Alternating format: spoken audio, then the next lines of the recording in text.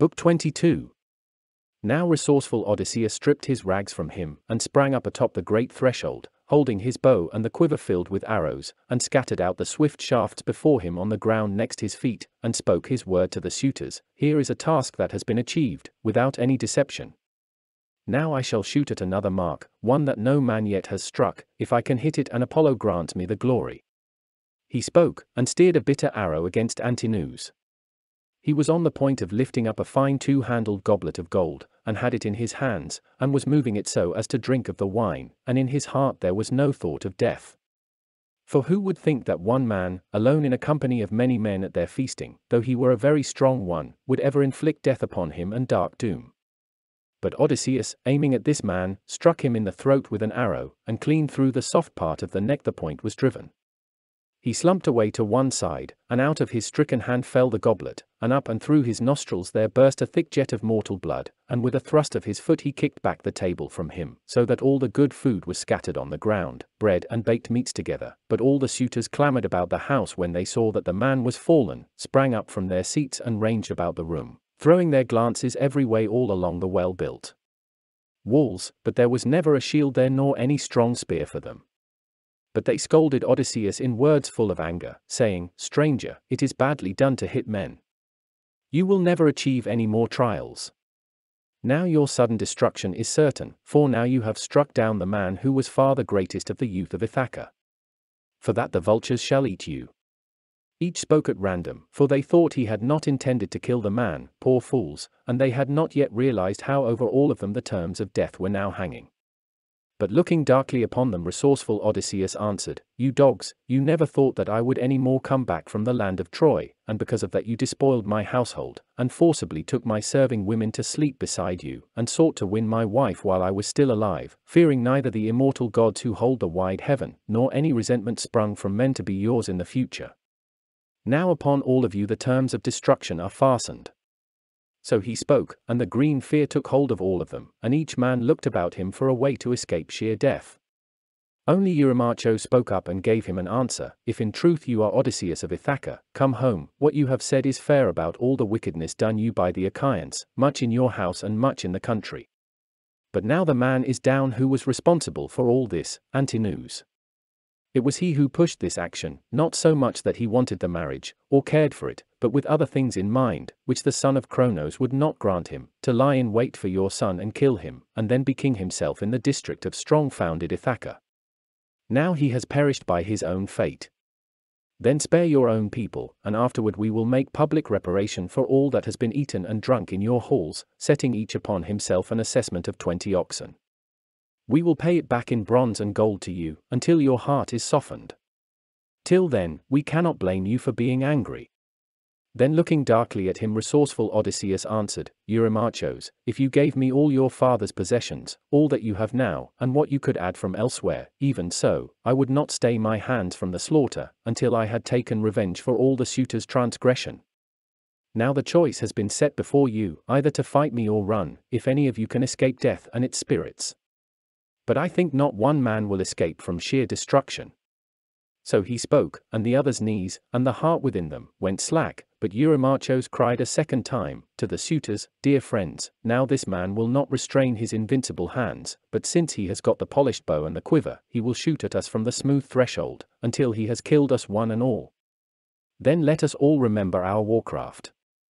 Draw your swords and hold the table before you, to ward off the arrows of sudden death, let us all make a rush against him together, and try to push him back from the doors and the threshold, and go through the town. So the hue and cry could be most quickly raised, and perhaps this man will now have shot for the last time. So he spoke aloud, and drew from his side the sharp sword, brazen, and edged on either side, and made a rush at him, crying his terrible cry. At the same time, noble Odysseus shot an arrow, and struck him in the chest, by the nipple, and the speeding arrow fixed in his liver, and his sword tumbled out of his hand on the floor, as he, sprawling over the table, doubled and fell, and on the floor the good food was scattered, and the two-handled goblet. He struck the ground with his forehead in his paroxysm of pain, and kicking with both feet rattled the chair, and over his eyes the death mist drifted. Amphinomos, springing forward to face glorious Odysseus, made a rush against him, and drew his sharp sword, thinking he might be forced to give way from the doors, but now Telemachos was too quick with a cast of the brazen spear from behind him between the shoulders, and drove it through to the chest beyond it. He fell, thunderously, and took the earth full on his forehead. Telemachos sprang away, and left behind the far shadowing spear where it was in Amphinomos, turning back, for fear that as he pulled out the far shadowing spear, some other Achaean might drive at him in an outrush, or else strike him from close up. He went on the run, and very soon he reached his dear father, and stood there close beside him and addressed him in winged words, Father, now I will go and bring you a shield, and two spears, and a helmet all of bronze fitting close to your temples. I too will go and put on armor, and give the swineherd and oxherd more to wear. It is better for us to be armored. Then in turn resourceful Odysseus spoke to him in answer, Run and fetch them, while I have arrows still to defend me, or else, while I am alone, they might force me from the doorway. So he spoke, and Telemachus obeyed his dear father, and went on his way to the inner room, where glorious armor was stored away, and took from inside four shields, and eight spears, and four helmets plated with bronze and crested with horsehair, and carried them back, and very soon he reached his dear father. He was the first of all to put the bronze armor upon him, and in the same way the two serving men put on their magnificent arms, and stood beside the wise, resourceful Odysseus. Odysseus, while he still had arrows left to defend him, kept aiming at the suitors in his house, and every time he hit his man, and they dropped one after another. But when there were no more arrows left for the king's archery, he set the bow so it leaned against a pillar sustaining the strong-built palace, there by the shining walls, then himself threw across his shoulders the shield of the fourfold oxhide. Over his mighty head he set the well-fashioned helmet, with the horsehair crest, and the plumes nodded terribly above it. Then he caught up two powerful spears edged with the bright bronze. There was a side door in the strongly constructed wall, and also, next the edge of the threshold into the well-made palace, a way through the alley, with the door leaves fitting it closely. Odysseus told the noble swineherd to take a position near this, and watch it. Only one at a time could attack there. Agelaus cried aloud to all of the suitors, Dear friends, could not one man slip away, through the side door, and tell the people? So the hue and cry could be most quickly raised, and perhaps this man will now have shot for the last time. Then in turn Melanthios the goat herd answered him, It cannot be, illustrious Agelaus. The fine doors to the court are terribly close, the mouth of the alley is difficult to force, one man could hold against all, if he were a fighter. Come rather, let me bring you arms from inside the chamber to arm you in, for there, I believe, and in no other place, Odysseus and his glorious son have hidden them.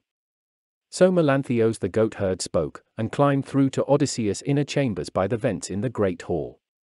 From there he took out a dozen heavy shields, and as many spears, and as many brazen helmets crested with horsehair, and went on his way, and quickly handed them to the suitors. Then the knees of Odysseus went slack, and the heart within him, as he saw them putting the armor about them, and shaking the long spears in their hands, he thought it was monstrous treason, and he spoke now in winged words to Telemachus, Telemachus, some one of the women here in the palace, or Melanthios, has made an evil attack upon us. Then the thoughtful Telemachus said to him in answer, Father, it was my own mistake, and there is no other to blame. I left the door of the chamber, which can close tightly, open at an angle. One of these men was a better observer than I. Go now, noble Eumaeus, and close the chamber door, and see if it is one of the women doing this, or Melanthios, son of Dolios, which is what I think. Now as these two were conversing thus with each other, Melanthios the goatherd went back into the chamber to bring more splendid armor, but the noble swineherd sighted him. Quickly he spoke a word to Odysseus standing close by him, Son of Laertes and seed of Zeus, resourceful Odysseus, there is that deadly man again, the one we suspected, on his way into the chamber. Now give me your true instructions, whether, if I prove stronger than he is, I am to kill him, or bring him back here to you, so he can pay for the many transgressions, all that he has devised in your house against you. Then resourceful Odysseus spoke in turn and answered him, Telemachus and I will hold off the haughty suitors, for all their fury, here inside the palace, you two twist the feet of Melanthios and his arms behind him, put him away in the chamber and fasten boards behind him, then make him secure with a braided rope, and hoist him upward along the high column, till you fetch him up to the roof beams. Thus, while he still stays alive, he will suffer harsh torment. So he spoke, and they listened well to him and obeyed him. They went into the chamber. He was there, but he did not see them. Now, he was searching out weapons, deep in the back of the chamber, and they stood there waiting for him behind the columns, on either side, until Melanthios the herdsman of goats came over the sill. In one hand he was holding a splendid helmet, and in the other the ancient shield, all fouled with mildew, of the hero Laertes, which he had carried when he was a young man. It had been lying there, and the stitches were gone on the hand straps. Now they sprang out and seized him, caught hold of his hair and dragged him in, and threw him down on the floor, there in his anguish of heart, and in the hurtful bond they securely fastened his feet and arms, twisted all the way back, obeying the orders given by great, enduring Odysseus, the son of Laertes. Then they made him secure with a braided rope, and hoisted him high on the column, until they fetched him up to the roof beams.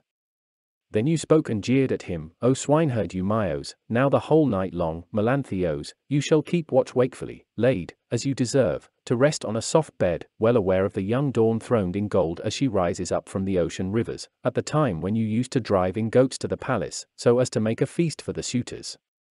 So they left him there, trussed up in his horrible bindings. The herdsmen closed the shining door, and put on their armor, and went and stood beside the wise, resourceful Odysseus. There both sides stood, breathing valor, the four men holding the threshold, but inside the house were many and brave men. Now to these men came the daughter of Zeus, Athene, likening herself in voice and appearance to Mentor. Odysseus was happy when he saw her, and hailed her, saying, Mentor, help me from hurt, and remember me, your companion and friend, who have done you much good. We two grew up together. He spoke so, but thought it was Athene, leader of armies. On the other side in the palace the suitors cried out against her, and first to threaten was Agelaus, son of Damastor, mentor, never let Odysseus by talking persuade you to fight against the suitors and defend him. Consider what we propose to do, and I think it will be accomplished. When we kill these men, the son and the father, you too shall be killed in their company, for what you are trying to do here in the palace. You shall pay for it with your own head. But when with the bronze we have taken away the lives of all of you, all the possessions which are yours, both here and elsewhere, we shall count in with those of Odysseus, nor will we suffer your sons to go on living here in your halls, nor your daughters and loving wife to go about in the town of Ithaca.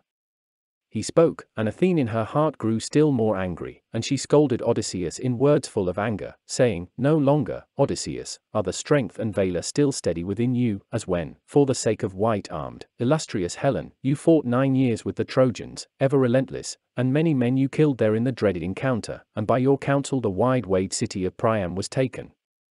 How is it now, when you have come back to your own possessions and house, you complain, instead of standing up to the suitors? Come here, friend, and watch me at work, and standing beside me see what kind of man is Mentor the son of Alcimous, and how against your enemies he repays your kindness. She spoke, but did not yet altogether turn the victory their way. She still was putting to proof the strength and courage alike of Odysseus and his glorious son, and she now, likening herself to a swallow in their sight, shot up high aloft, and perched on a beam of the smoky palace. Now Agelaus, son of Damastor, urged on the suitors, with Demoptolemus, Amphimedon, and Peisandros the son of Polyctor, Eurynomos, and the wise Polybos. For these in warcraft were by far the best of the suitors who still were alive and fighting for their lives, but others had already fallen before the bow and the showering arrows. To these Agelaus spoke, directing his words to all of them, Dear friends, now this man will have to stay his invincible hands, since Mentor, after doing some empty boasting, has gone, and these are left alone in the front doorway. Now, do not all of you throw your long spears at the same time at him, but let us six throw first with our spears, and it may be Zeus will grant that we strike Odysseus and win the glory. We care nothing about the others, once this man has fallen. So he spoke, and all six aimed their spears, as he told them, and threw, but Athene made vain all their casts, so that one man threw his spear against the pillar sustaining the strong-built palace, another into the door, close-fitted. One ash spear heavy with bronze was driven into the side wall. But then, after they had avoided the spears of the suitors, much enduring great Odysseus began speaking to them, Dear friends, now I would say it was the time for our turn to throw our spears into the midst of the suitors, furious as they are to kill us, and add to former evils committed. So he spoke, and they all aimed their sharp spears and threw them straight ahead. Demoptolemus was killed by Odysseus, Euryades by Telemachus, Elatos by the swineherd, Peisandros by Philoetios, the herdsman of oxen. But when all these had fallen, and bit with their teeth the great earth, the suitors drew away into the corner of the palace, and the others rushed, and plucked their spears from the fallen bodies. Once again the suitors aimed at them with their sharp spears, and threw, but Athene made vain most of their casts, so that one man threw his spear against the pillar sustaining the strong-built palace, another into the door, close-fitted. One ash spear heavy with bronze was driven into the side wall. But Amphimedon struck Telemachus on the wrist, with a glancing blow, and the bronze ripped the outermost skin, and also Ctesippus with his long spear hit Eumaeus over the shield, and scratched his shoulder, but the spear flew over, and landed void. Then the company of wise, devious devising Odysseus threw their spears into the mass of the suitors. This time Odysseus, stormer of cities, struck down Eurydamas, Telemachus hit Amphimedon, the swineherd, Polybos. Then Philoetios, herdsman of oxen, struck Ctesippus full in the chest, and spoke a word of vaunting over him, O son of Polytherses, lover of mockery, never speak loud and all at random in your recklessness. Rather leave all speech to the gods, since they are far stronger than you are. Here is your guest gift, in exchange for that hoof you formerly gave to godlike Odysseus, as he went about through the palace. So spoke the herdsman of horn-curved oxen, but now Odysseus stabbed Agelaus, son of Damastor, from close, with a long spear, while Telemachus stabbed Leocritos, son of Euenor, in the midmost belly with the spear, and drove the bronze clean through. He fell then headlong, and took the earth full on his forehead. And now Athene waved the aegis, that blights humanity, from high aloft on the roof, and all their wits were bewildered, and they stampeded about the hall, like a herd of cattle set upon and driven wild by the darting horse fly in the spring season, at the time when the days grow longer, but the other men, who were like hook-clawed, beak-bent vultures, descending from the mountains to pounce upon the lesser birds, and these on the plain, shrinking away from the clouds, speed off, but the Vultures plunge on them and destroy them, nor is there any defense, nor any escape, and men are glad for the hunting. So these men, sweeping about the palace, struck down the suitors, one man after another, the floor was smoking with blood, and the horrible cries rose up as their heads were broken. Leiodes rushed in and caught the knees of Odysseus, and spoke to him in winged words and in supplication, I am at your knees, Odysseus. Respect me, have mercy, for I claim that never in your halls did I say or do anything wrong to any one of the women, but always was trying to stop any one of the other suitors who acted in that way. But they would not listen to me and keep their hands off evil. So by their own recklessness they have found a shameful death, but I was their diviner, and I did nothing, but I must fall, since there is no gratitude for past favors. Then looking darkly at him spoke resourceful Odysseus, If you claim to be the diviner among these people, many a time you must have prayed in my palace, asking that the completion of my sweet homecoming be far off from me, that my dear wife would go off with you, and bear you children. So you cannot escape from sorry destruction. So he spoke, and in his heavy hand caught up a sword that was lying there on the ground where Agelaus had dropped it when he was killed. With this he cut through the neck at the middle, and the head of Leiodes dropped in the dust while he was still speaking. Phemios the singer, the son of Terpias, still was skulking away from death. He had been singing among the suitors under compulsion, and stood with the clear-toned lyre in his hand by the side door, and his heart was pondering one of two courses, either to slip out of the hall to the altar of mighty Zeus of the court, and crouch at the structure, where once Odysseus and Laertes had burned up the thighs of many oxen, or rush up and make entreaty at the knees of Odysseus. Then in the division of his heart this way seemed best to him, to seize hold of the knees of Odysseus, son of Laertes. Thereupon he laid the hollowed lyre on the ground, between the mixing bowl and the chair with its nails of silver, but he himself rushed in and caught the knees of Odysseus, and spoke to him in winged words and in supplication, I am at your knees, Odysseus. Respect me, have mercy. You will be sorry in time to come if you kill the singer of songs. I sing to the gods and to human people, and I am taught by myself, but the God has inspired in me the song ways of every kind. I am such a one as can sing before you as to a god. Then do not be furious to behead me. Telemachus too, your own dear son, would tell you, as I do, that it was against my will, and with no desire on my part, that I served the suitors here in your house and sang at their feasting. They were too many and too strong, and they forced me to do it. So he spoke, and the hallowed Prince Telemachos heard him. Quickly then he spoke to his father, who stood close by him, Hold fast. Do not strike this man with the bronze. He is innocent. And let us spare Medon our herald, a man who has always taken care of me when I was a child in your palace, unless, that is, Philoetios or the swineherd has killed him, or unless he came in your way as you stormed through the palace. So he spoke, and Medon, a man of prudent thoughts, heard him, for he had hidden under a chair, and put on about him the hide of an ox, freshly skinned, so avoiding black death.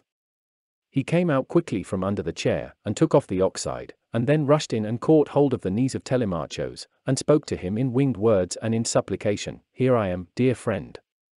Hold fast, and speak to your father, before, since he is so strong, he destroys me with the tearing bronze, in anger over the suitors, who kept ruining his goods in his palace and, like fools, paid you no honor. Then resourceful Odysseus smiled upon him and answered, Do not fear. Telemachos has saved you and kept you alive, so you may know in your heart, and say to another, that good dealing is better by far than evil dealing. But go out now from the palace and sit outside, away from the slaughter, in the courtyard, you and the versatile singer, so that I can do in the house the work that I have to. So he spoke, and the two went away, outside the palace, and sat down both together beside the altar of mighty Zeus, looking all about them, still thinking they would be murdered. Odysseus looked about his own house, to see if any man still was left alive, escaping the black destruction, but he saw them, one and all in their numbers, lying fallen in their blood and in the dust, like fish whom the fishermen have taken in their net with many holes, and dragged out onto the hollow beach from the grey sea, and all of them lie piled on the sand, needing the restless salt water, but Helios, the shining sun, bakes the life out of them. Like these, the suitors now were lying piled on each other. Then at last resourceful Odysseus said to Telemachos, Telemachos, come now, summon in the nurse, Eurycleia, so that I can say what is on my mind to say to her. So he spoke, and Telemachos obeyed his dear father. He opened the door and called out to the nurse, Eurycleia, rise and come here, aged woman, you who watch over all that the serving women do here in our palace. Come here. My father calls you. He has something to tell you.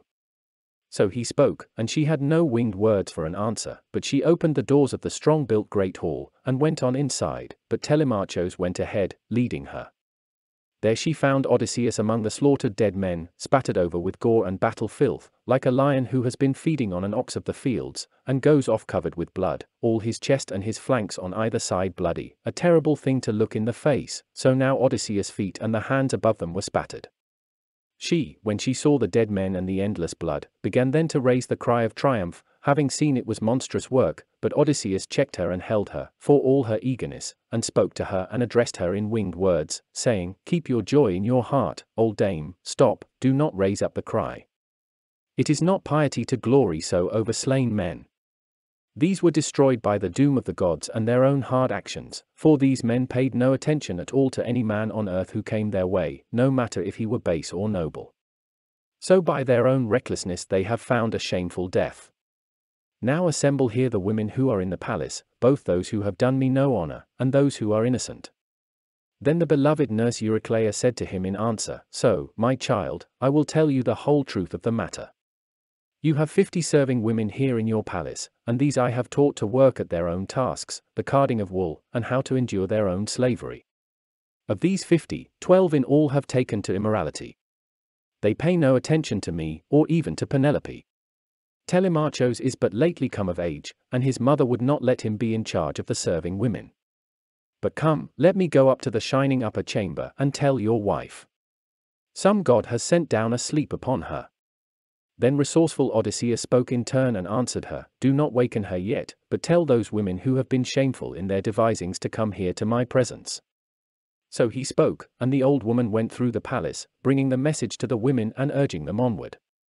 But Odysseus, calling Telemachos and the oxherd and swineherd to him, spoke to them in winged words, saying, Begin the work of carrying out the bodies, and tell the women to help, and after that to wash the beautiful chairs and tables clean, with water and porous sponges. Then, after you have got all the house back in good order, lead all these maidservants out of the well-built palace between the round house and the unfaulted wall of the courtyard, and hew them with the thin edge of the sword, until you have taken the lives from all, and they forget Aphrodite, the goddess they had with them when they lay secretly with the suitors. So he spoke, and the women all in a huddle came out, with terrible cries of sorrow, and the big tears falling. First they carried away the bodies of all the dead men, and laid them under the portico of the well-built courtyard, stacking them on each other. Odysseus himself directed them and hurried them on. They carried the bodies out. They had to. Then, after they had done this, the women washed the beautiful chairs and tables clean, with water and porous sponges. After this Telemachos, the ox herd and the swine herd, scraped out the floor of the strongly constructed house, with shovels, and the women carried the scrapings away, and piled them outside. But after they had got all the house back in good order, leading the maidservants out of the well-built palace, between the round house and the unfaulted wall of the courtyard, they penned them in a strait place from which there was no escaping. Now the thoughtful Telemachos began speaking among them, I would not take away the lives of these creatures by any clean death, for they have showered abuse on the head of my mother, and on my own head too, and they have slept with the suitors. So he spoke, and taking the cable of a dark prowed ship, fastened it to the tall pillar, and fetched it about the round house, and like thrushes, who spread their wings, or pigeons, who have flown into a snare set up for them in a thicket, trying to find a resting place, but the sleep given them was hateful, so their heads were all in a line, and each had her neck caught fast in a noose, so that their death would be most pitiful. They struggled with their feet for a little, not for very long. They took Melanthios along the porch and the courtyard. They cut off, with the pitiless bronze, his nose and his ears, tore off his private parts and gave them to the dogs to feed on raw, and lopped off his hands and feet, in fury of anger. Then, after they had washed their own hands and feet clean, they went into the house of Odysseus. Their work was ended.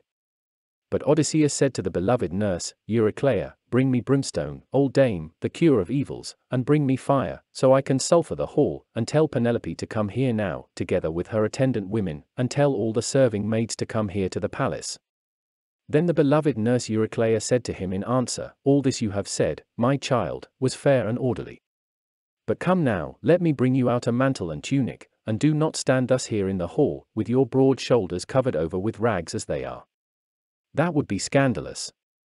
Then resourceful Odysseus spoke in turn and answered her, Before all this, let me have the fire in my palace. He spoke, and the dear nurse Eurycleia did not disobey him. She brought him out the fire and brimstone, and then Odysseus cleaned his palace, house, and courtyard alike, with sulphur. The old woman went off through the fine house of Odysseus, to take the message to the women and tell them to gather. They came from the main house, and in their hands held torches, and all the serving women clung to Odysseus, and greeted him, and made much of him, and kissed him on his head and his shoulders and hands, admiring him, and sweet longing for lamentation and tears took hold of him. He recognized all these women,